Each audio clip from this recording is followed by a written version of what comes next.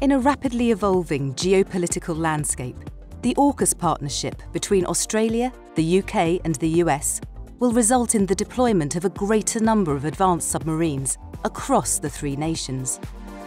In submarine operations, test and evaluation is critical to both assuring the suitability of the design before committing to expensive build programs and confirming a vessel's performance at acceptance and through its operational life. QinetiQ is uniquely positioned to support the through-life test and evaluation of submarines, starting at Haslar, our state-of-the-art maritime facility in the south of England. Haslar is QinetiQ's world-leading facility in the provision of maritime and underwater test and evaluation and is home to 200 engineers and scientists. Our teams focus on de-risking key elements of a platform's design using scale models, alongside advanced computational techniques.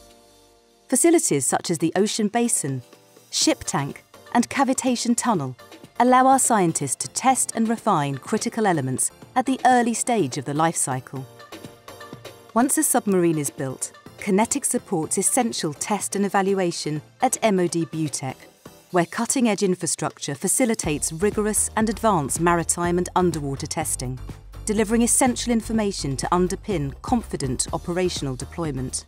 BUTEC is a perfect location geographically to provide critical output in a safe and secure environment. The capabilities are essential to the operational commander's understanding of weapon system and sensor performance, together with platform susceptibility and relative operational advantage. QinetiQ's outputs ensure that the UK MOD fully understands the operational risk associated with deploying ships and submarines on operations.